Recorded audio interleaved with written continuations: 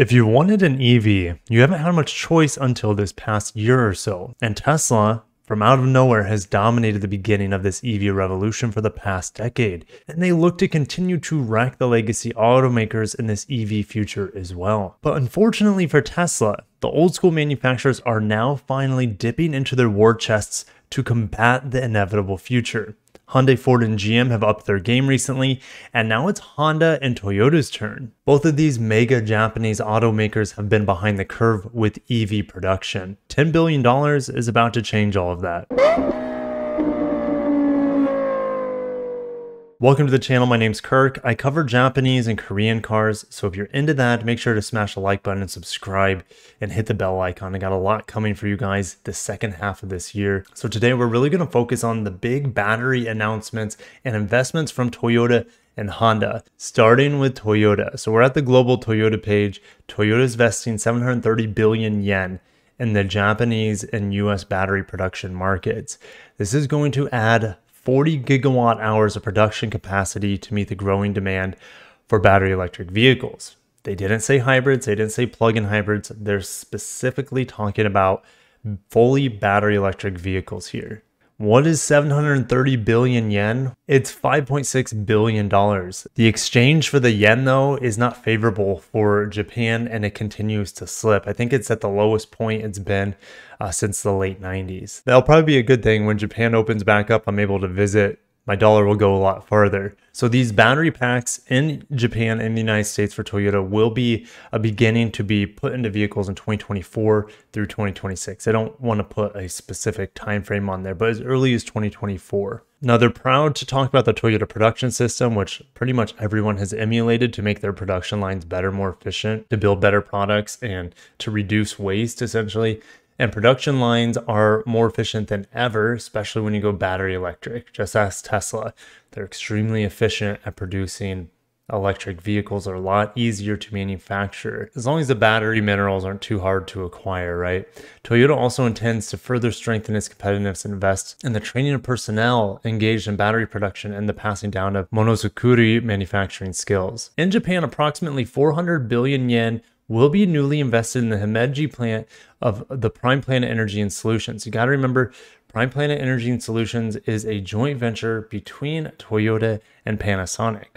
Panasonic really only works with a few other auto manufacturers, of course, Tesla. And we're going to talk a little bit about those two companies, Panasonic and Tesla, later in this video. So back to this Japan investment, 400 billion yen, and PPES. You also have PEVE, which I don't think PEVE is mentioned here because I think PEVE is the other joint venture between Panasonic and Toyota, and that's mainly for like hybrid battery packs. So PPP, PPES is largely for plug-in hybrid, I'd say, and fully electric situations. Anyways, Toyota plants and property are going to be uh, invested in as well. Well, in the United States, $2.5 billion will be newly invested in Toyota battery manufacturing in North Carolina. That plant wasn't supposed to open until 2025, and it still might, but they're dumping another two and a half billion. I think it was around a billion initial investment, and now they just like tripled it essentially. The North Carolina plant is 90% owned by Toyota Motor North America, and then 10% by Toyota Tsusho. All right, so we're switching over to the Toyota newsroom in North America. So two and a half billion invested in the North Carolina plant. But here's a cool thing: we're, we're learning a little bit more with the the uh, employment of people. So we're adding 350 additional jobs to this battery site, and you can see them clearing ground. Look, it used to be forest. Whenever I see ground clearing like this in the name of being eco-friendly, I have to laugh to myself because this doesn't look good for the environment. Got to look at the big picture, right? Anyways, let's keep reading. Toyota's global investment climbs up to 5.6 billion supporting electrified effort. So the addition of 350 jobs brings a total employment of approximately 20 2100 in North Carolina. This facility in 2025 will produce batteries for hybrids and battery electric vehicles. And also you have to keep in mind there's I wouldn't be surprised if plug-in hybrids are included in the umbrella of hybrid electric vehicles. So last year Toyota announced 8 trillion Japanese yen or $70 billion for electrification. So what we're seeing today, the around 6 billion or so is a part of that 70 billion investment. So in 2021, in partnership with Toyota Tsusho announced the new Liberty location with an initial investment of 1.29 billion for the battery production and creation of 750 jobs. With today's announcement, the North Carolina plant's total investment is nearly 4 billion. So we're going to take a look real quick of the manufacturing for Toyota here in North America. And we know that this North Carolina battery plant, which is the focus of this investment, at least here in North America, you have that huge investment over there in Japan as well uh, with Prime Planet Energy Solutions. So, what do we have going on here? Well, this is going to feed their Kentucky plant, which is the largest Toyota plant in the world. It's going to feed their Indianapolis plant, and right that right now we have the Highlander and Sienna built there, but we're also going to have the Grand Highlander and uh, Lexus TX be built there by the end of next year. So more batteries going to be sent to Indianapolis as well. You also have uh, Mississippi where they built the Corolla. Then up here they build the RX, the NX, uh, lots of other things that are going to be needing large batteries, especially those plug-in hybrids for the 450h plus RX and NX. They need to have somewhere to make those batteries, and bringing them from Japan just doesn't make sense. They might as well send the whole whole battery with the vehicle, and that's what they do. So until we can produce plug-in hybrid batteries from this North, uh, North American battery plant in North Carolina, we won't have that many plug-in hybrid Toyotas, I don't think. 2025 is going to change the landscape of Toyota, especially here in North America. And I also talked about Panasonic. Now, Panasonic is building a huge battery plant in Kansas. Now, why would they do it in Kansas when they mainly manufacture batteries for Tesla?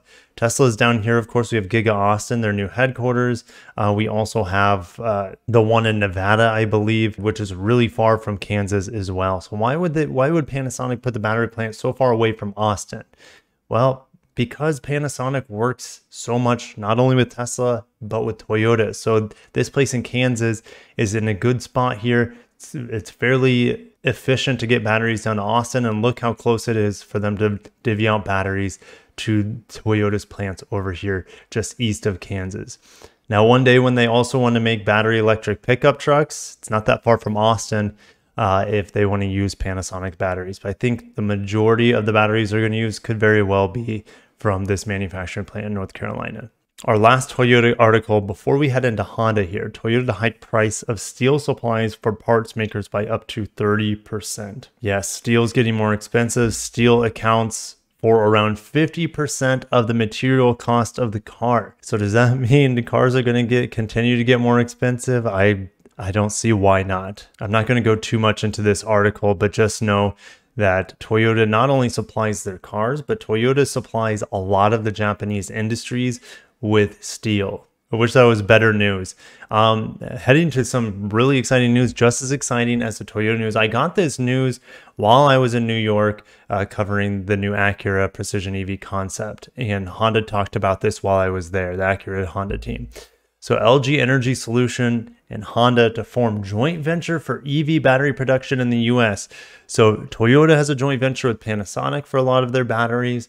And then you also have Honda here. And why are they picking a Korean manufacturer to team up with to create batteries? Well, there's a lot of reasons for it. The, the most obvious reason is going to be hey, they're using LG slash Ultium batteries. That is a collaboration with General Motors, right? But they're using LG with their first battery electric vehicles in collaboration with GM. So you have the Prologue that will be using uh, LG slash Ultium batteries, and you also have the ZDX Acura's first electric vehicle in 2024 that will be using batteries from LG. So why not just continue? And then you also have the dominance of LG provided by the visual capitalist here. CATL out of China at over 32.5% of the world's supply of battery electric vehicle batteries. And then you have LG out of South Korea, massive. Now, if we talk like 10 years ago, Panasonic was like by far the most dominant manufacturer, but the Japanese manufacturers are very, very, very conservative. And it will be interesting to see if Panasonic will ever get that sort of traction again with having that much dominance. Now, does it mean Panasonic is no longer producing as much batteries? Absolutely not. They continue to scale up, but they cannot scale as fast as the Chinese and Korean companies, it seems like. We also have Samsung and SK uh, building plants here in the United States, working with tons of other manufacturers. And then you also have Toyota working with BYD over here, and BYD also supplies a ton of plug in hybrids and fully electric vehicles for their own BYD vehicles in China. So Toyota working with these top companies essentially here, and we have Honda working with LG here at the bottom left. What will be interesting is what will Honda use for the battery electric vehicles coming out of Japan? Will they work with LG some way, somehow? It's a possibility. But most of the battery electric vehicles from Honda in 2026. That's when their the E architecture from Honda comes out in 2026, uh, and Acuras will be built on that as well. But I'm assuming those are all going to be here in North America. So let's talk about LG Energy Solution and Honda to form joint venture for EV battery production. And this is for lithium ion batteries in the US, not only for Honda, but of course Acura just for the North American market. So LGES and Honda will invest a total of $4.4 billion to establish a new joint venture plant in the US. The plant aims to have an annual production capacity of 40 gigawatt hours. Does that sound familiar? Because the first article we talked about, Toyota is amping production up to 40 gigawatt hours as well. That's that's a very uncanny coincidence, I would say. Now they will be using pouch type batteries. We don't know what kind of battery style Toyota will be using. Prismatic would make the most sense because that's what they use with their hybrids, for example, and I think with their plug-in hybrids and maybe even with uh, their fully battery electric vehicles like the BZ4X. It's really hard to say, but I think they're the more the more boxy type where LG's always done the, the pouch type as of recent. Unfortunately, Honda and LG have not a, a, location. I'm sure they have either eyed to certain locations and they're working with them to, to narrow down the singular location where this battery plant will be. So early construction of this plant will be in 2023 with the mass production of these cells uh, will be 2025.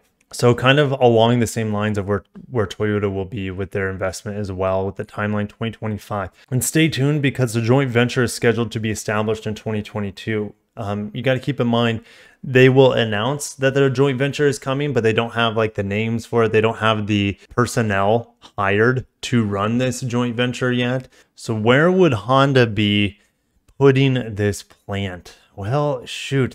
I mean, Ford's got some going in Kentucky, right, with Blue Oval. Um, and I think that would be a great place for Honda uh, to put their battery manufacturing plant with LG. Now, headquarters for Honda is all the way out here on the west coast of California. Um, they also produce the HRV and other other vehicles for North America down in the, the Celaya plant. But I think somewhere in the heart of Kentucky would make sense, maybe even West Virginia, so that they can send batteries to the huge plant in Canada.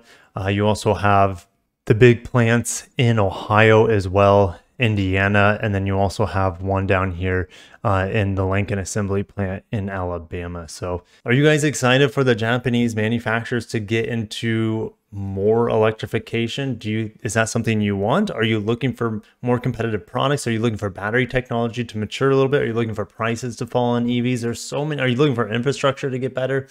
What are you looking for in your next EV? Do you think uh, you'd be more willing to buy from a Japanese manufacturer like Honda or Toyota? Or are you interested in the Ariya coming from uh, Nissan this year? And hopefully, I'm trying to get my hands on that vehicle. So I'll, I'll let you guys know if I'm able to get into the Ariya first drive like I was for the Nissan Z. That was amazing experience. Anyways, I'm going to end it there. Thank you guys for watching. I can't wait for you to sound off down below because battery electric vehicles is a always a fun subject on the channel whether you love them, you hate them, or you're just waiting for the right one to come along to make the most sense for your needs. I get it. I'll see you guys down below. Have a wonderful day. Take care of yourselves and peace out.